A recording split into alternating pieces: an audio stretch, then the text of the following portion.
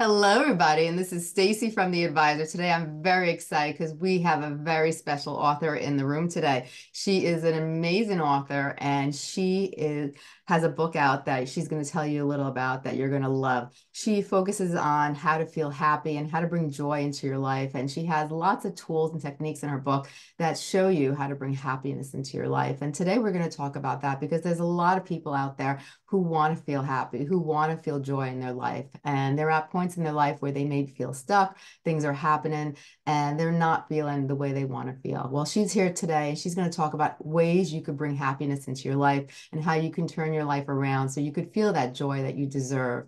Elizabeth, it, it is a pleasure and an honor to have you on the show. Can you tell everybody a little about yourself and what you do? Yes, oh, Stacey, thanks for having me, firstly. And um, Yes, um, I'm I'm living in Sydney, Australia, and I um, went through a, a challenging divorce uh, about seven, seven, eight years ago, and um, with that, I it was it was so challenging in that I felt like I'd just lost me, you know, because I had you know I had four adult children and and a shock divorce where that I wasn't expecting and right. all of us was just sort of what, what happens now i mean you know i i totally invested my time and into my relationship and my kids and yeah. now they were all adults and i was in a, a, a, bad way i was in a lot of shock and i was um, kept spiraling down into deep depression and you know had all all the emotions you know roller coaster of emotions and so I really started. I was determined. I think I had a determination to to um, pick myself up, thankfully, mm-hmm. and um, but I was looking everywhere for a manual. I was looking everywhere for a manual. There must be a manual about how to how to navigate this because it was I it was unexpected, and um, I just needed some signposts to get me um, in a in a better place. And so that's when I started um, journaling and thankfully I started painting about the same time, uh, encouraged by my children who'd given me a, a voucher for a free painting class. And um, and then as, as I started to um, journal and paint, I realized that I was developing tools to help me feel better. And um, coupled with um, lots of different modalities which I explored over that time from you know living living away in ashrams um, to um, going heavily into kundalini yoga to um, all, all, different a lot of different modalities i started to to um, work out what was working and what was not and yes.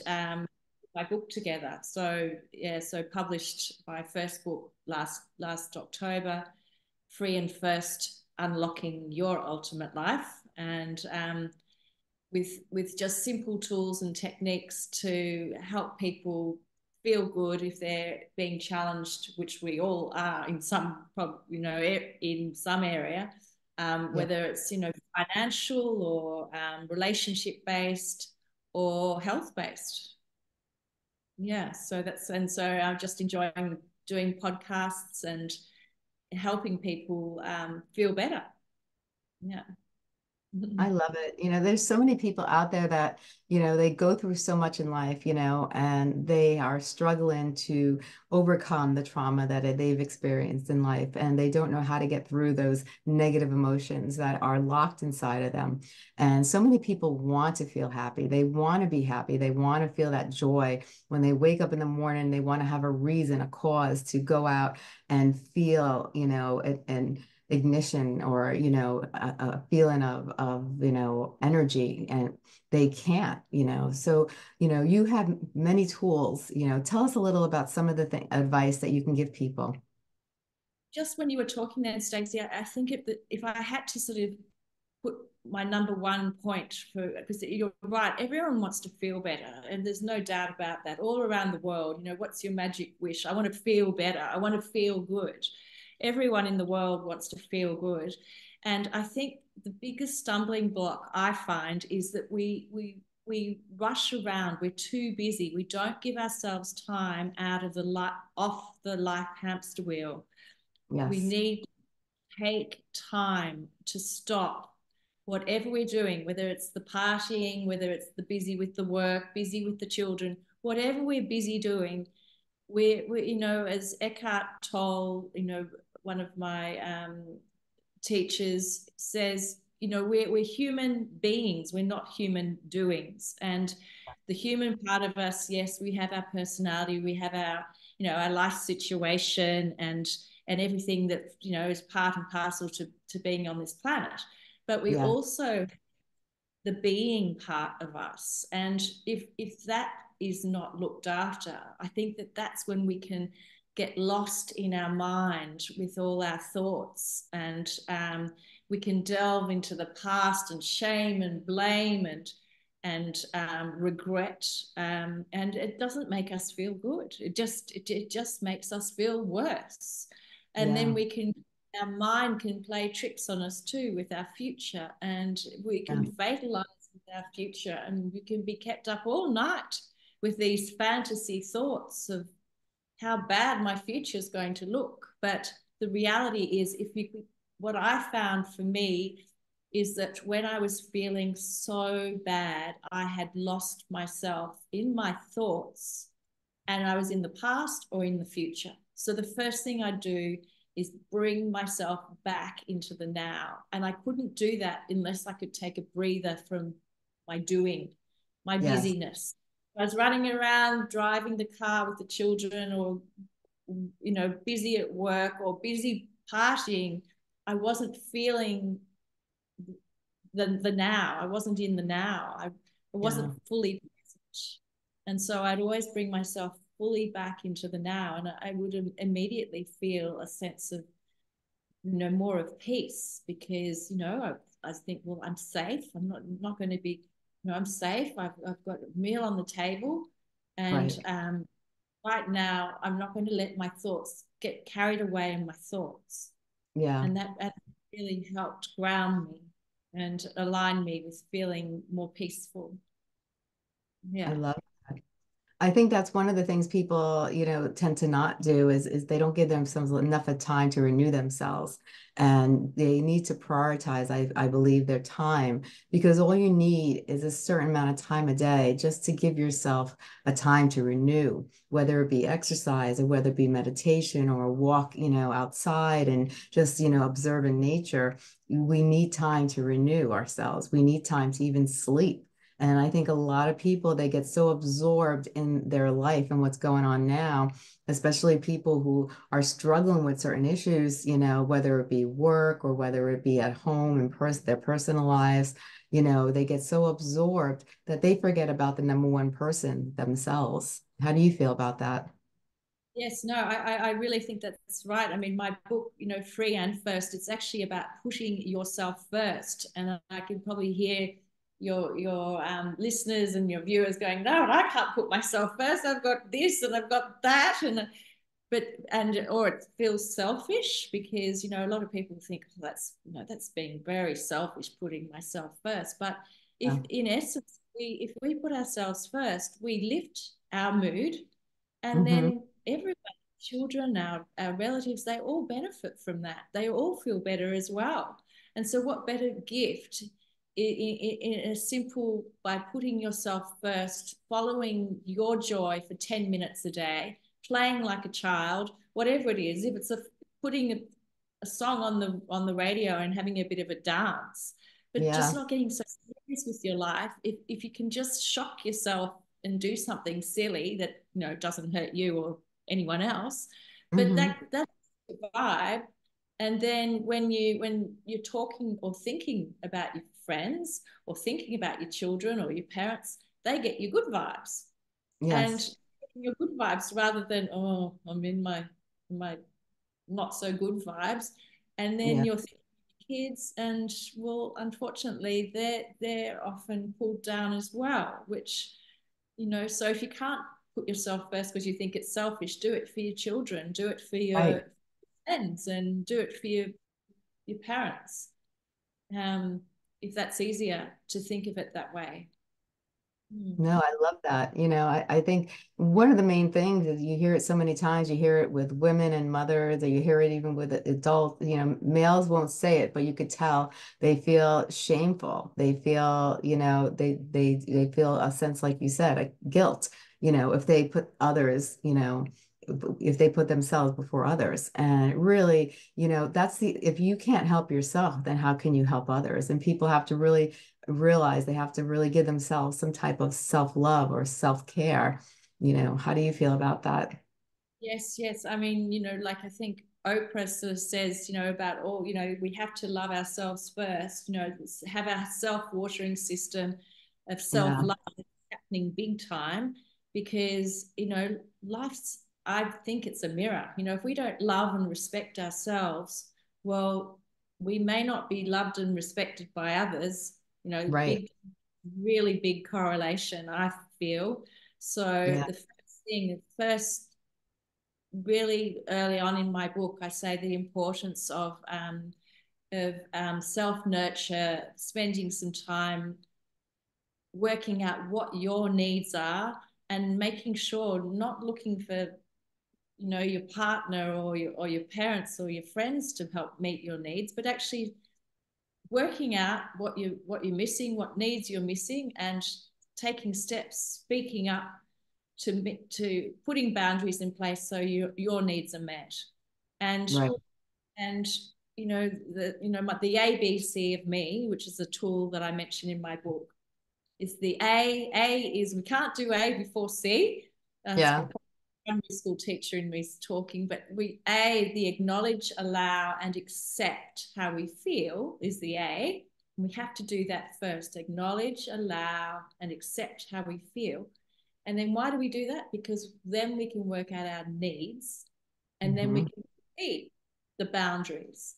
And then but the boundaries it depends on how we communicate which is the c communication of the boundaries and so the ABC of me is a really important tool that that if we can follow through with that um, when we when we feel when we don't feel good, and we can actually stop and feel how we feel and yeah. work what our needs are, put up our boundaries in place.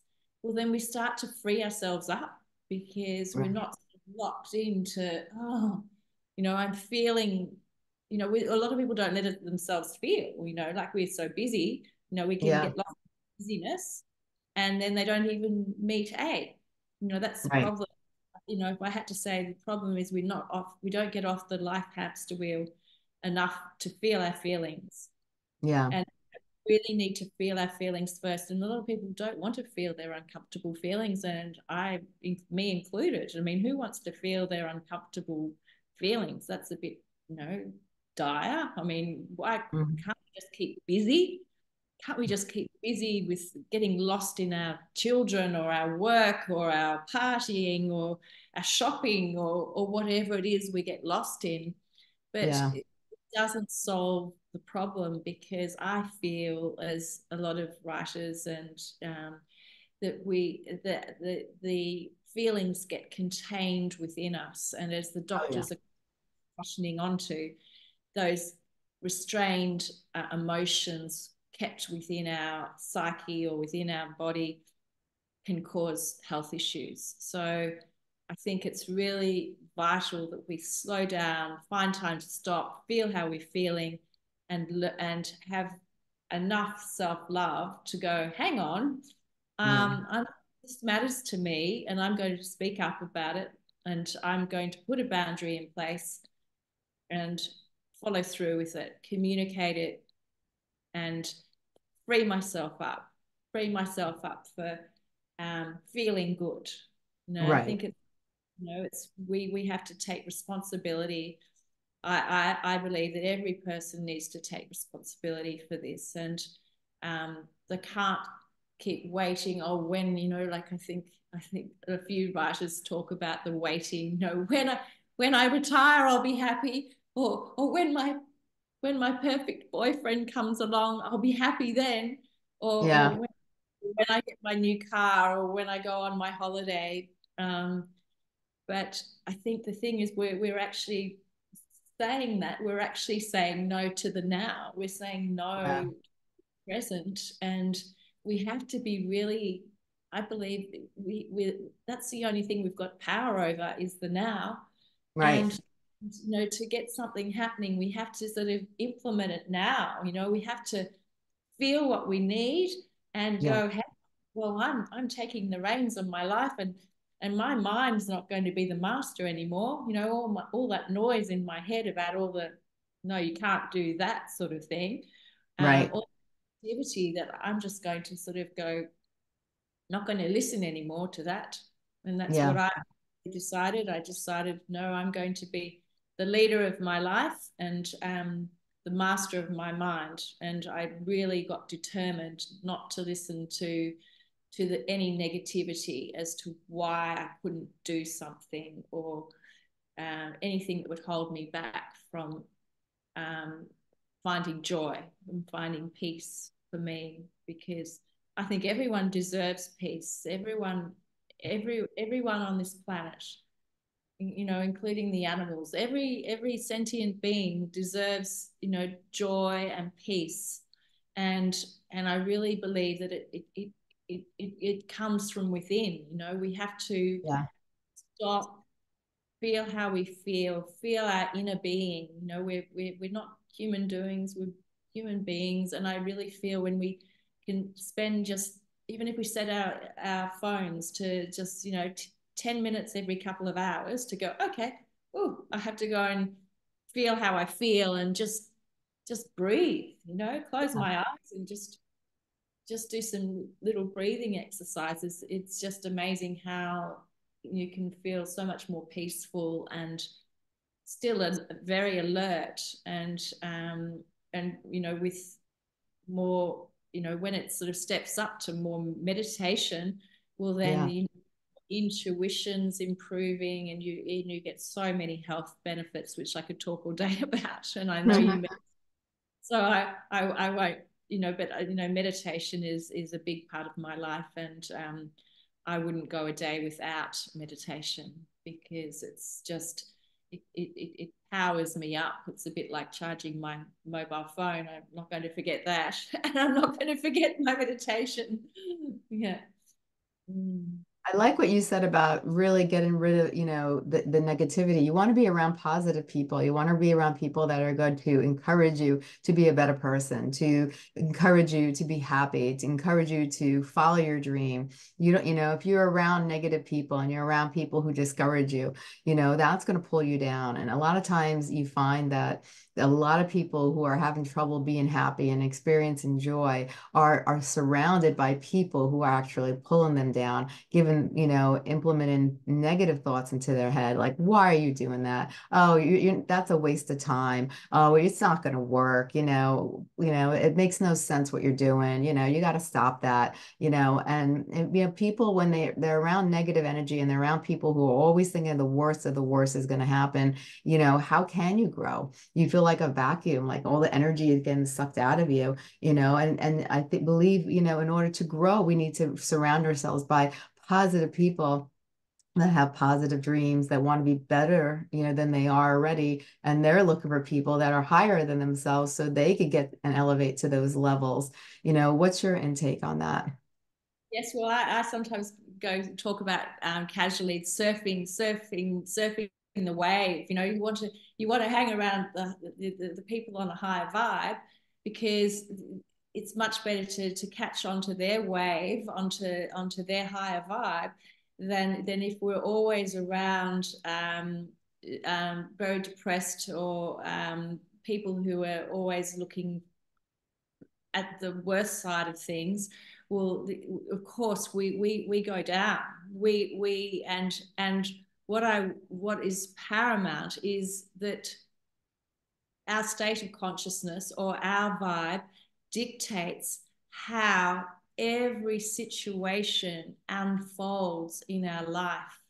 Yes. So I realized that is I, I sort of had that aha moment myself when I was um, negotiating the, the divorce settlement. And I thought, well, okay, if if I can get my vibe as high as I can through you know through being eating healthily uh, exercising being around positive people and just ticking as many boxes as i could to to to, to get my vibe higher would mean yeah. that go in to negotiate uh, um, you know, and the deal, the biggest, biggest deal of my life, you know, when you sort of, you know, you've got your kids and you're trying to work, you know, you want to be able to think clearly and you, of course, you want the most positive outcome. So yes. with, with anything in life, what I've realized is the higher we can, we can, we can climb our vibe up by ticking as many boxes as we can, we're, yes. we're in a much better position. And then also our, our, our children and our friends as we we emanate a higher vibe and they can catch the wave, so to speak. Yeah. 100%. Yes, definitely. Definitely. Now, in your book, you have like different exercises and things. You know, you've mentioned some already. You know, how can people, you know, if they're feeling eh, their emotions are repressed and they're starting, you know, and they're going through, they're not feeling that happiness. They're not feeling that joy. And as we know that when you have, when you push your feelings down and your feelings are repressed, after a while you can go numb and you don't even know how you feel anymore because you pushed your emotions down for so long. And if you're around people who are negative and you're all these things are happening you know what are some of the things that you suggest for people you know who want to feel happiness who want to feel joy? You know what you know you've mentioned a few already but what are some powerful you know points that you think people could use to change their lives around Yes, well, Stacey, I think it depends exactly how uh, you know each each person's going to be different, of course, to what to how, what degree their pain is, their trauma is, where it's at, as to yeah. as tools are appropriate for them. And I must say here, I am not a health professional here, so please don't change any of your um, health re- regimes because I'm I'm just speaking from experience what worked for me um, through a traumatic event. So in the early days, um, just finding my fun, that's all I could manage just to just to look for um, not trying to bite off more than I could chew and just to get through the next half hour, get through the next hour. And I'd have a list near the on the on the kitchen um, fridge or near near near my toothbrush about mm-hmm. ways to bump me out of, of my mood that would be very low. So whether that was call a friend, put the radio on. Um, so that was the, the that's sort of the critical list. I'd have my critical list close at hand. Um, yeah. And then as I started to um, want other tools, um, I explored other um, tools, which which was then um, um, the the idea of being present um, and letting go of allowing ourselves to be present and to feel into our feelings mm-hmm. meant that it allow the heavy emotions that hold us down. Like, you know, you can imagine a hot air balloon. Everyone's got this idea of a hot air balloon. You've got the sacks yeah. of sand, big bags of sand holding you down. So go, I really want to let go of my grudges with my, you know, husband or with my employer or whoever whoever the person is that you may subconsciously sometimes be harboring a grudge against your parents you know yeah. it, there's many and when we can look at at um, forgiveness uh, even if we have to fake it until we make it yeah. when we can look at forgiveness it lightens our load. And guess what? We we get to rise up. We get to feel good. It, it, you know non non forgiveness causes more havoc i believe with our physical health than the person we're not forgiving you know, mm-hmm. we can do ourselves more health harm, uh, you know, more harm to our health than. So it's it's it's better just to to, to um forgive. Uh, you know, for for your sake, is you know, it doesn't mean we need to condone what they've done. Right. But, but you know, like I think it, you know, I think it was I think it was Jesus on the cross said, Forgive them because they don't know, they know not, meaning that they may not be at that level of understanding to know that they've done anything wrong. So you could be you could be banging your head against the wall trying to trying to get through to people um, that have that you think have wronged you, but you're never going to win because if they're at that consciousness that they don't understand that yeah. caused you pain, well, you, you're not going to um, get very far. So, right. um, so I, I find that forgiveness for me, you know, forgiving and just accepting where people are at. You know, we're all at different stages on the rocky road called, you know, um, the journey through life. You know, everyone's trying their best. Every mm-hmm. every I really believe every person is trying their best. Um, yes. From the consciousness at the, at the level of understanding that they're in, on this planet with, and um, and the the shame and the blame, you know, pointing the finger at someone else is going to do you more harm, um, and it's not going to help you feel better. And long term, it could be play havoc with your health. Right. Exactly. So true. Now, what inspired you to write your book? Yes, well, I, I just didn't want any of my, my children or my friends to go through what I went through. I I I was just determined. My I've always enjoyed helping people, uplifting others, enriching others' lives through whatever, you know, I'm a primary I'm a trained primary school teacher. Um, and I worked, uh, did voluntary work for the Raise Foundation, helping children from challenged homes mm-hmm. as, me- as a mentor. Um, and I just always enjoyed it. And so um, when something's working for me, I just really love to share it um, to help everyone feel better, you know, like in this challenging world that we're in. Um, I've just really wanted to, you know, I hold the vision my book will be translated into different languages so as we can help people around the world to be in a better place because there's there's a lot of suffering going on and I really hold the vision that we can dissolve the suffering with tools and techniques and really um, it starts with each individual person to make this world a, a, a better place. Mm. Oh, Hundred percent, a hundred percent, and each if each individual can acknowledge that and and and just put a, a, a small effort of of kindness, hope, gratitude, love into the world, the the world could change so dramatically, and that's all we need. Yeah, and it doesn't have to be, you know, like I think, you know, a lot of people think, oh, I can't do that, and I can't write a book, or I can't do. It's just baby, baby steps, you know, like just even smiling at the the, the, the, the lady who serves you coffee every morning. Yeah. That, that will uplift someone, you know, like if we can just take baby steps to bring more joy to the people that we meet during our day. Yeah. Huge. I mean, if everyone just woke up and said, okay, well, we're going to do that tomorrow. I'm yeah. just going to, um, everyone I meet, I'm just going to smile at. Yeah. Well, it, it would I think it would change the whole flavor of the world quite quickly. Right. But, you know? Yeah. Oh, 100%. 100%. Now, where can people find your book? Yeah, so the, the best the best way is just to jump on my website. So it's elizabethjane.com, but then I have dot .au for Australia. So it's elizabethjane.com.au and you can um, go down and um, join on my Facebook or my Instagram and uh, listen to all the podcasts that I do around the world and interviews within Australia and overseas um, about how to how to feel good fast because you know life's too short.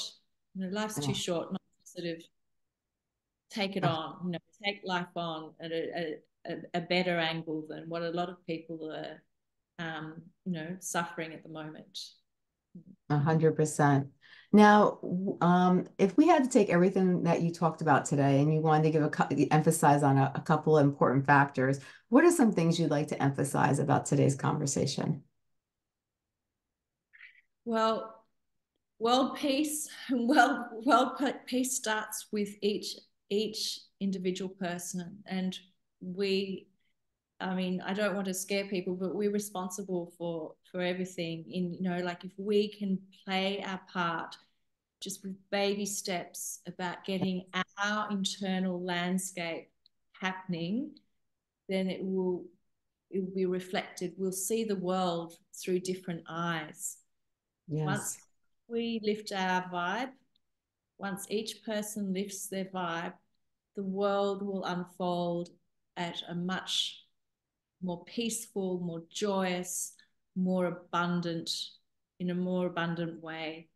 Yes. And so everyone can start today to to really look at what's working and what's not to change whether that's okay keep it simple. What's working what's not. 10 things not working okay? Let's just drop these 10 things and 10 things that are working continue with them. You know right. look at your friends as you said look at your group of friends.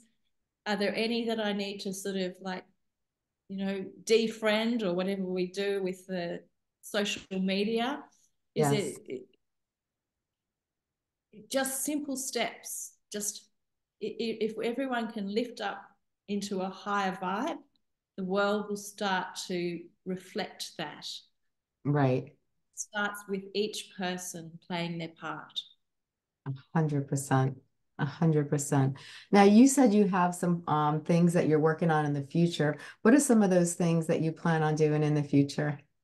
Yes, well, I'm I'm really excited because Stacey, because um, I have got uh, two children's books on on on my way, which I'm illustrating. So one is is animating um, um, Australian animals, and mm. uh, with sort of um, talking about uplifting children, teaching how to kids can be empowered as well to be able to step into their full full superpowers. Mm. Um, and and so it's not so i thought well when the, the parents are reading the children's books that will help the parents as well because we can yeah. all we all should be able to step into our superpowers and um, our authenticity and to to um, so the kids books i'm doing and also um, i hope very soon to one day have wellness centers around the world to to help people um, uplift into a better place to help them through their traumatic challenges that they're faced with, in, no matter what, um, in, in, what um, way they have, in, what's the word, in you know, what what type of challenge they have, you know, whether it's financial or relationship based or health based. Um, we've all got challenges, but you know they're all in different packages, but they're yeah. universal and you know everyone around the world have have got the same challenges on at the moment. Oh 100% we're not alone.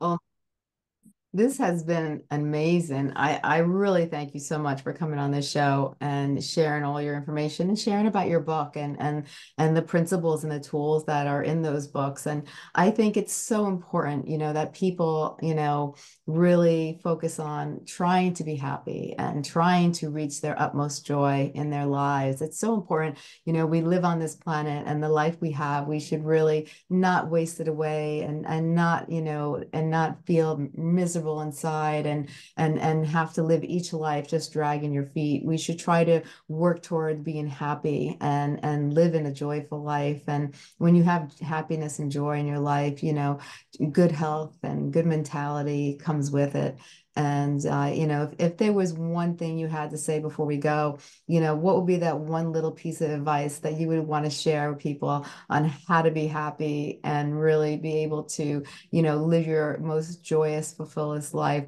You know, if you had to give that one little piece of advice, what comes to your mind? Um, well, it would be to put yourself first. I've said it now, to put yourself first and not to keep making excuses about um, why you can't. Because as as you lift up then you, your your friends your family your parents your colleagues they'll all lift up. If you if you put yourself last you're da- down in the dumps well you're thinking of them and you're you're giving them your your not so good vibes. So right. I, it's saying put yourself first. It's selfing it's not selfish. I love it. I love it. That's awesome Elizabeth, this has been wonderful. Thank you so much for coming on the show. I hope you'll come back. This has been an amazing experience, and it's a topic that people are very interested in listening to. And you know, you gave such great advice. So I thank you so much for your time, and I really appreciate you. Yes, I'd love to come back at any stage, Stacey. You're, you're, it's been wonderful. Thank you. Oh, you're very welcome, and you have a great day. Thank you. You too.